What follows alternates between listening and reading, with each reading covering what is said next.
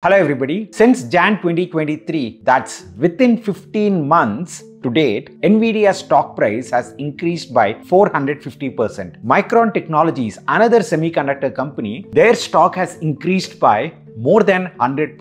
Semiconductor industry itself is riding on a high wave. And in the recent news, Intel has announced that they have raised 20 billion dollars from the US government. Yes, not 20 million but 20 billion dollars from the US government in the form of grants and loans. Now, this semiconductor growth story is not just limited to the US. Even India is being a part of this growth story. Xpheno, one of these specialist staffing firms, apologies if I'm not spelling the name correctly, they have announced that a group of companies within the semiconductor space like Kaynes Technology, Micron Technologies and a few more companies together are looking to hire 12,000 plus employees in the next one year. Now, in this video though, we are not just going to focus on only the semiconductor industry. When one industry grows, we need to also look at what are the impacts, both direct, indirect, and induced impacts because of just one industry growth.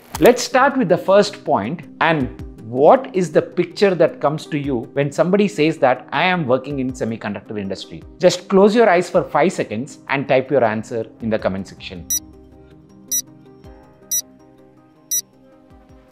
A lot of us would be thinking somebody in a white coat, right? Some lab, a researcher is working, right? Working on some small chips. This is what we envision is going into the semiconductor space. But no, it is not just about research. Research is actually a very small portion of the semiconductor space. The same specialist staffing firm has mentioned that within the semiconductor industry, these are some of the prominent roles. 28% of the roles are made up by semiconductor engineering guys. 19% of the roles are made up by mechanical engineers and 15% of the roles are made up by embedded systems guys. That adds up to roughly 62%. And where are the remaining 38% folks being hired from? If we look at the research from Oxford Economics, a fantastic piece of research and I'm giving you the link in the description box, please go through that. It highlights what are the roles being hired within the semiconductor space even beyond these 62% typical semiconductor profiles. Management roles 8%, computers that's your information and technology that's again up to 6%. There is construction, labor, manufacturing, administrative staff. When one industry grows, it is not just about the profiles for only that industry. A lot of other roles also grow along with the core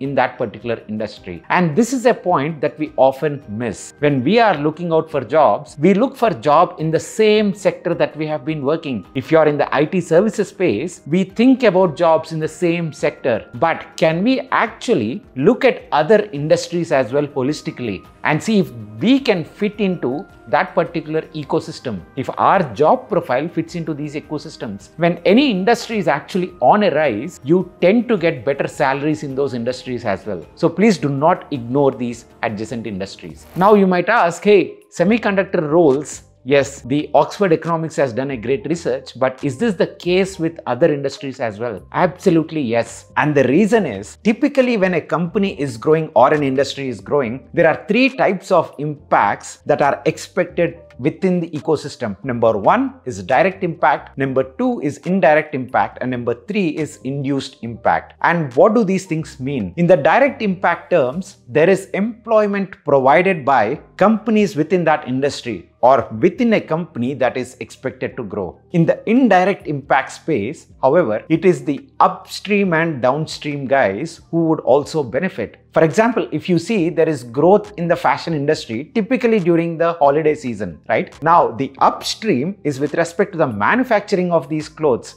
so a lot of boom in that space and the downstream activities is where the selling happens. And where do you see the sales happening? Let's say e-commerce sites. So e-commerce sites also provides a lot of jobs to the delivery executives and a lot of other enablers in the ecosystem. So it is not just one industry that grows there are upstream activities with respect to manufacturing and downstream activities with respect to sales that are also pushing and creating indirect impact. Then what is the induced impact? Because of the employment that is generated both through direct and indirect means, then there are new form of employment opportunities that are coming through the induced means. For example, all this set of employees working in the entire ecosystem go and purchase a few things. They go and spend that money on other places within the economy and that leads to more jobs. You can be a part of any of these three things because the total impact is an addition of all these three aspects. So when you are looking for a job, you need to know which industries are growing, which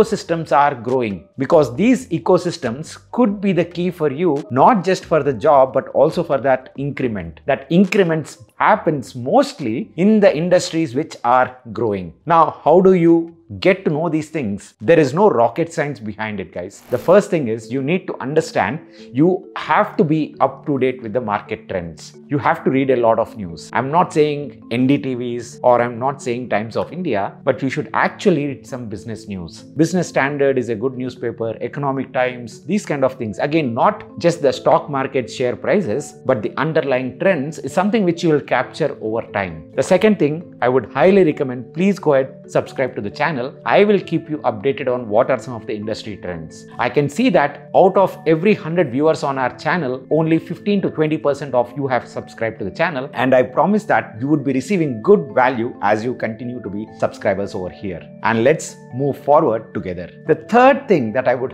also recommend is please go follow people from these industries. Whenever you get to see let's say semiconductor industry is growing or some other industry is growing go ahead and follow some of the key influencers in that industry or key figures in that industry on linkedin. When these guys post new articles or new material of their research, it gives a lot of points to ponder. Now, we are not living probably 10 or 20 years back where we do our job and we are good with that and there is no external pressure for us. The times are changing and people are expecting a lot more from us. So we have to be up to date with respect to these things. And finally, keeping our eyes open beyond our day to day tasks is always helpful. Thank you so much, guys. I'll see you again in the next one. Bye bye.